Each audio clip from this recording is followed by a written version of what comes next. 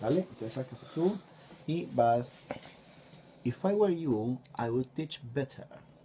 If if I if I were you, I would teach. Estás diciendo Ah, ya, you. no, no, no. vamos a solucionar If eso. if if, if if I were you, I would If- teach better. if I were you, No, señor. no no no. es I if I were you, Ajá. I would teach. No Better no no no. no. better. If I if I if I were you, I would teach better. Paula would be happy if she married before 30. Paula would be happy uh, if she Not she. married. If She. if if she if Paula, she Paula would be happy if she married before 30.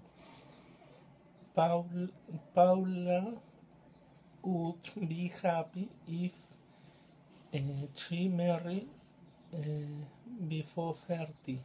If dogs ate people, they would be zombies. if if dogs ate people, uh, they would be Zombies. zombies. Zombies. Zombies. Zombies. Zombies.